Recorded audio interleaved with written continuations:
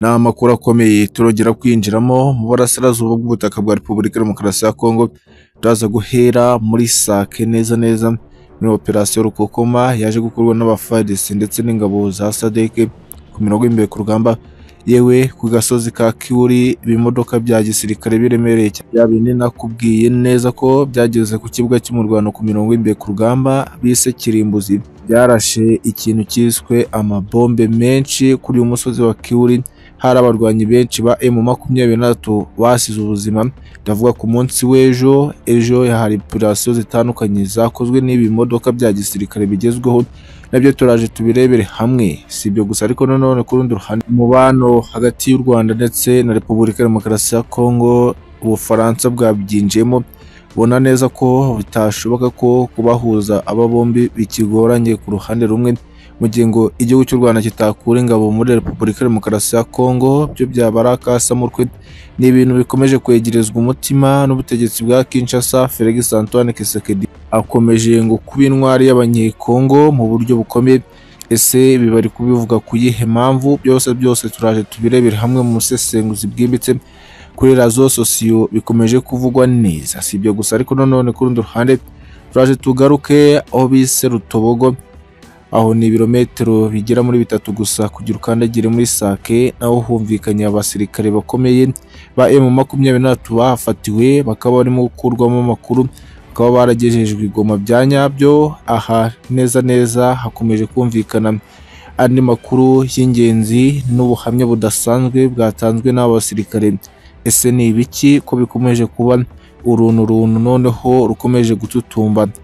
Ingabo za sadeke zakomeje kubyumva neza zigahita zitunga imitutu y'imbunda kuri abasirikare ba emu makumyabiri na batatu mu buryo bukomeye babikoze ku yihe mpamvu? Ibyo byose bifite ikintu cyiswe ishingiro n'amakuru.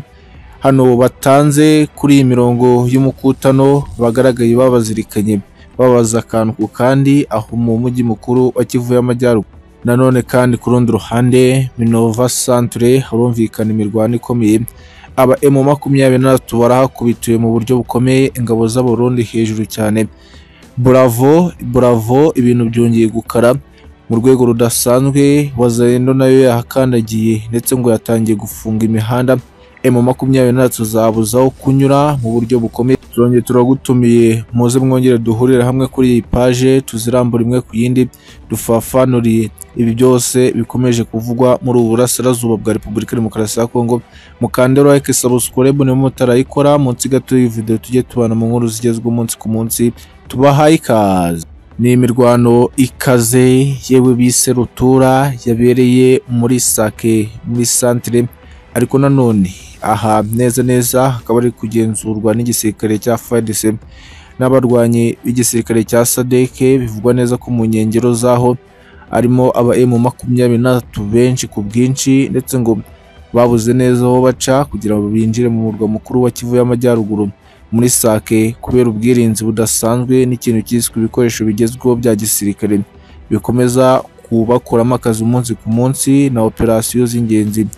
Zitangwa na komandi poste nka serivisi zidasanzwe bahabwa n'igisirikare cya Sadeke byakomeje kubatigisa bya nyabyo ku buryo ngo ibi birometero makumyabiri n'umunani kubigenda kwa emu makumyabiri na batatu bavuye Sake ngo byagorana mu buryo bukomeye kuko abasenguzi bakomeje kubigaragara. Ariko nanone muri operasiyo yabaye ku munsi w'ejo tariki ebyiri aho abarwanyi ba emu makumyabiri na batatu batatse igisirikare cya FARDC mu buryo bukomeye.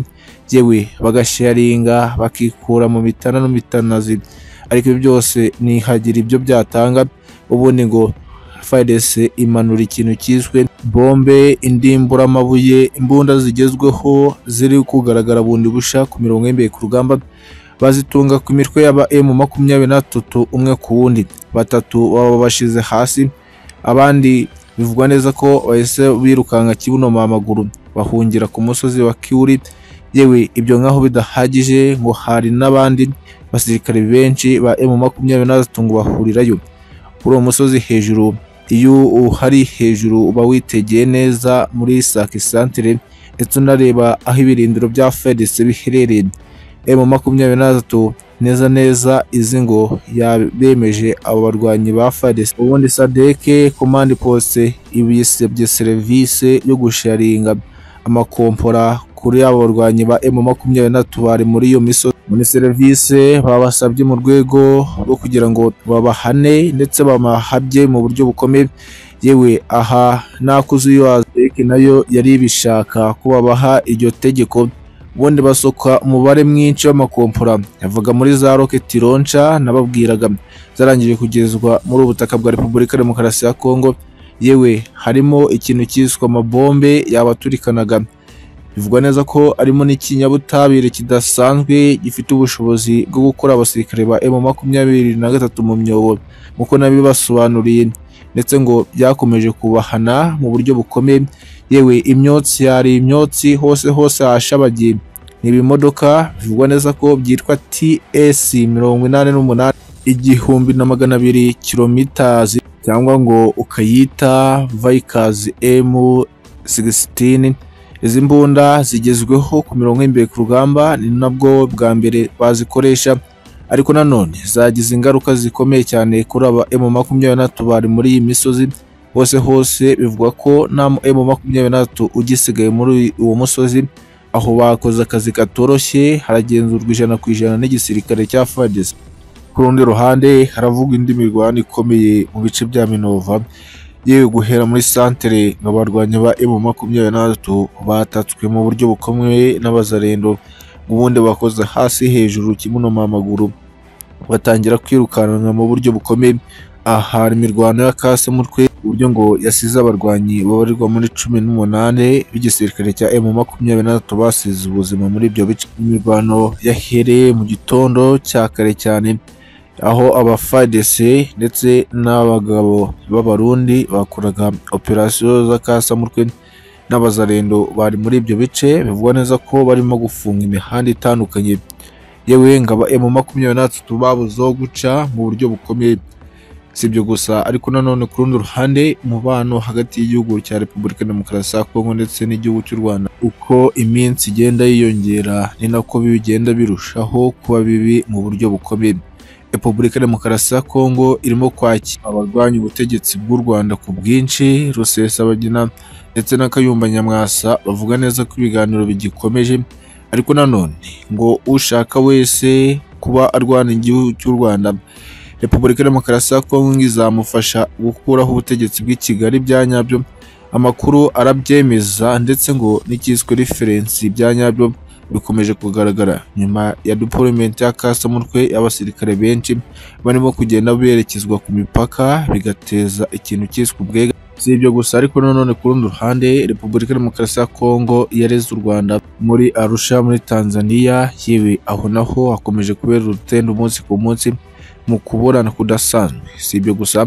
Igihugu cy'u Rwanda cyo kirimo gufata imyanzuro itandukanye irimo iyo kuba yakaza umutekano yewe yewe ku bigendanye n'umupaka abasirikare nabo ku bwinshi bivugwa neza ko bariyo.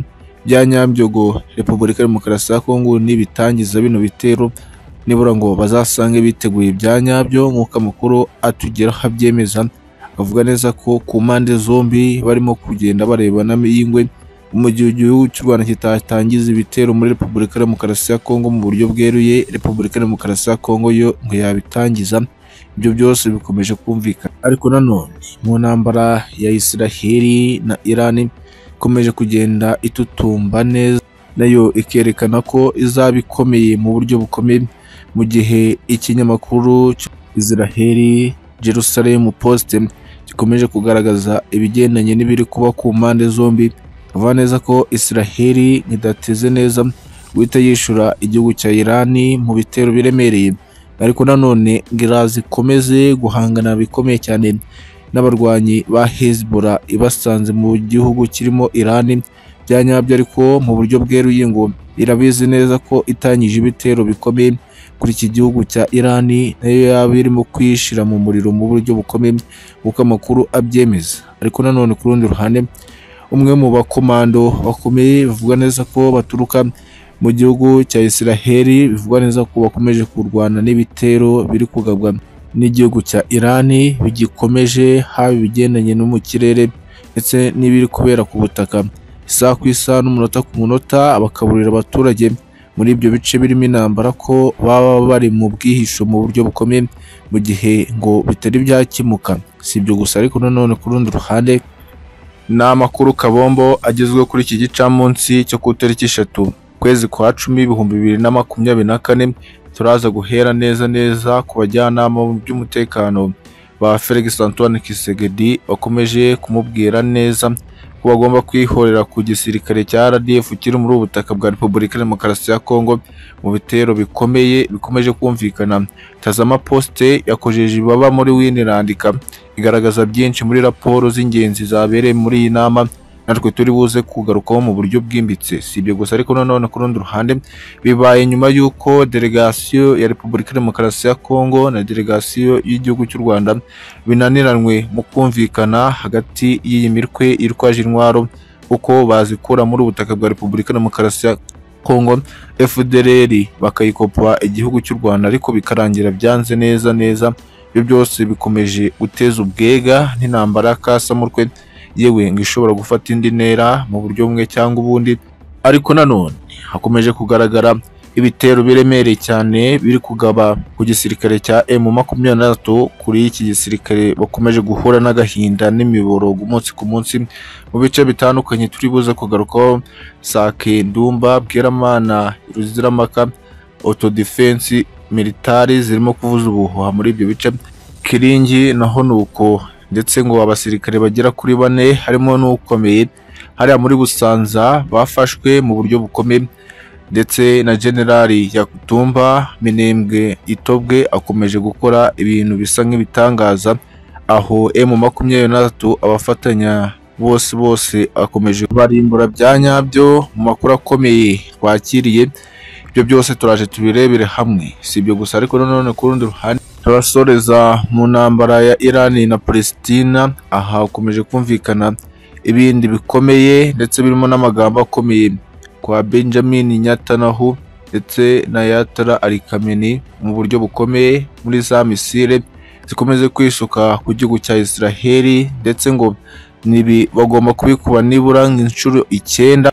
Byose bikubiye hamwe umutekano politiki na diplomasi. Bakunze bakadasohoka mwongere muze aho muherereye hose haba mu bice bya Repubulika Demokarasi ya Kongo ndetse no hanze yarwo mwongere muze mukande like subscribe nimo butarayikora munsi gato iyi video tujye tubana mu nkuru zigezweho umunsi ku munsi tubaye ikaze. Nibyo abajyanama mu by'umutekano hano muri ubu butaka bwa Repubulika Demokarasi ya Kongo Kinshasa bagiriye inama ivuga neza ko ari akagabo ku ruhande rw'iki gisirikare cya FARDC mu bikorwa byose byo kwigobotora umwanzi ku mirongo y'imbere ku rugamba yewe aha neza neza ngo biraza guteza ikindi kintu gikomeye gisa n'intambara ya kasamutwe bagomba gushoza ku gihugu cy'u Rwanda. Ubwo neza ko abajyanama baburira Repubulika Demokarasi ya Kongo ko mu gihe ngo bakomeje gukomeza intambara bakayirwanira muri Asirazuba bwa Repubulika Demokarasi ya Kongo ngo nta musaruro bizatanga ngo ahubwo ngo niba ari izi ngabo za Repubulika Demokarasi ya Kongo zihanganiye na RDF muri ubutaka bwa Kongo bazimurire mu kibuga cy'umurwano bakimurire mu butaka bw'u Rwanda bya nyabyo. Iyo ni inama bivuga neza ko yafasha cyane n'abaturage baturiye muri Burasirazuba bwa Repubulika Demokarasi ya Kongo ndetse gukomeza gusahura n'ibindi bikomeje kumvikana. Gasa nk'aho byagabanyuka muri ubu butaka bwa Kongo bikavugwa neza ko niba Repubulika Demokarasi ya Kongo ifite ibikoresho byose ndetse ngo ikaba ifite ubushobozi bwo gushoza ku gihugu cy'u Rwanda. Ni ukubera iki ngo itabikora mu buryo bukomeye? Ni mu nama yagaragayemo incabwenge zivuga umwe ku wundi yewe batanga ibitekerezo. Komande poste y'igisirikare cya Repubulika Demokarasi ya Kongo bayigezaho icyavuye muri iyo nama rukokoma. Biraza kwitegwa mu bundi buryo. Tazama yo yaje kubigarukaho. Isesengura akantu kandi ko ibintu biraje kwegerezwa umutima. Nyuma y'uko nyuma y'iyo nama byagaragaye neza ko abasirikare benshi b'igisirikare cya Repubulika Demokarasi ya Kongo baturutse mu mutwe wa GR ndetse ngo n'abakomando bihariye mu by'umutekano bakomeje kumvikana bakorerwa deployment mu masaha y'ijoro ndetse bari kumwe kwiyerekeza muri Asirazuba bwa Repubulika Demokarasi ya Kongo buhana imbibi n'igisirikare cy'u Rwanda. Aba FDLR benshi ngo bakirunda mu kibaya cya Nyiragongo aho hafi n'umupaka mu buryo bukomeye ibyo byose bikomeje gutigisa bya nyabyo isi yose mu mboni z'abasesenguzi kandi ngo birimo gukorwa mu banga rikomeye. Abo bose ngo bateganyije neza urupfu aba RDF bari muri ibyo bice ndetse ngo bakabimurira mu gihugu cy'u Rwanda akaba ariho bajya kurwanira mu buryo bukomeye. Igisa n'intambara ku mpande zombi bisa nk'aho babyegereje umutima yewe mu gihe Repubulika ya Demokarasi ya Kongo ngo itabanje cyangwa igihugu cy'u Rwanda kizahita kibanza mu bitero karabutaka nk'uko mu mboni zose bakomeje kugenda babigaragaza mu buryo bukomeye. Ibi byegerejwe umutima haba ku ruhande rw'u Rwanda ndetse n'igisirikare cya Repubulika ya Demokarasi ya Kongo ubona neza ko ibi byose bifite icyo bihatse ndetse ngo biraza kubyara amazi n'ibisusa mu buryo bukomeye. Si ibyo gusa nanone harumvikana ibitero bishya by'igisirikare cya SADC nyuma y'uko ngo babikubye inshuro icyenda nibura mu byumvikanye muri ubu butaka bwa Kongo SADC bikomeje kugaragara neza ko izahabya bikomeye cyane abasirikare b'intare zasarambwe bari ku mirongo y'imbere ku rugamba mu gitero cya mbere. Bivugwa neza ko abasirikare ba M makumyabiri na batatu baguye ku bwinshi ababarirwa kuri mirongo itandatu. Ikintu cyiswe imbunda ziremereye izo SADC nta kintu irimo kwikanga irimo kuzikoresha yewe bikavugwa neza ari zo zashobora aba M makumyabiri na batatu ngo bakomeje gukorera ibisa nk'amabara muri ubu butaka bwa Repubulika Demokarasi ya Kongo ngo ni ukubashoraho umuriro bya nyabyo. Mu gihe abasirikare bakomeje kwirunda mu bindi bice bitandukanye birimo teritwari ya Masisi ku bwinshi ndetse na Rucuro aho abazarendo bamaraga iminsi n'ubundi beseya uko ibitero barakomeza babigaba ku gisirikare cya M makumyabiri na gatatu na byo byabaga successful ku ruhande rumwe. Nako ku rundi ruhande abasirikare bivugwa ko ari bane b'igisirikare cya M makumyabiri na gatatu bacakiwe n'abazarendo mu gitero biremereye cyane byabereye mu Busanza. Muri operasiyo izigezweho zakozwe n'igisirikare cy'abazarendo ingabo z'abarundi babyegereje umutima cyane bane baba baracakiwe yewe bivugwa neza ko umwe yitanze kandi akaba ari umuyobozi. Amakuru tukaba turimo kuyakurikirana hafi mu buryo bukomeye. Si ibyo gusa ariko nanone ku rundi ruhande humvikanye imirwano mu bice bya Ndumba Bweramana aho bita Ruziramaka n'aho bita Rwabitongo aho hose ni ingabo za FARDC zatatse mu bitero bishya birimo kugabwa ku gisirikare cya M makumyabiri na hamwe na hamwe biragaragara neza ko bahagiye bahaguta bya nyabyo. Bweramana bahagose muri iyi misozi ya M makumyabiri na gatatu ngo babuze umwuka neza neza muri ibi bice. Bakomeje guhanirwayo n'ikintu cyiswe inzara babuze ukuntu bava muri ibyo bice ng'usohotse ni ukumena umutwe hagaragara abasinayipazi n'abasirikare bivugwa neza ko bafite ikintu cyiswe imbunda zifite bimoreya zirimo gucamo abantu kabiri bya nyabyo no ku mirongo y'imbere ku rugamba. Si ibyo gusa ariko nanone ku rundi ruhande ni uko ngo delegasiyo ya repubulika demokarasi ya kongo n'iy'u rwanda nyuma y'uko binaniwe kumvikana. Ibitero byakomeje na byo kuba bibi cyane ku gisirikare cya emu makumyabiri na kiri muri ubutaka bwa repubulika demokarasi ya kongo ari nako aho. Generali yakutumba muri minembwe. Itobwe yakomeje gukorayo akazi katoroshye. Uyu bivugwa neza ko ari umujenerali ukuriye igisirikare cya mayimayi nyatura. Kiri muri ubutaka bwa repubulika ya demokarasi ya kongo ngo kirimo abenegihugu benshi bo muri iki gihugu cya repubulika ya demokarasi ya kongo ngo badashaka ko emu makumyabiri na gatatu yabafata na buno butaka. Yewe nabo ngo bemeye neza neza kurwana kugera ku rupfu. Nk'uko amakuru atugeraho abyemeza si ibyo gusa ariko nanone ku rundi ruhande benjamin nyatanyahu ndetse na mugenzi we yatara arikameni bakomeje kutumvikana mu bitero bikomeye bikomeje kumvikana yewe ku gihugu cya israheli bikaba bivugwa neza ko na byo biri kuba nibura inshuro cumi n'ebyiri ku byo bumvishe nyuma y'uko ngo batangaje neza ko ari urupfu rugomba kunuka muri iki gihugu mu gihe ngo bongera kugerageza kwataka umutwe wa Hezbollah kandi Israheli mu bigaragara. Yo yakomeje ibitero ku ruhande rwa Hezbollah. Iri kugenda ibakoramo akazi umunsi ku munsi abarirwa muri cumi na bane. Neza ko yabavanyemo umwuka mu buryo bukomeye.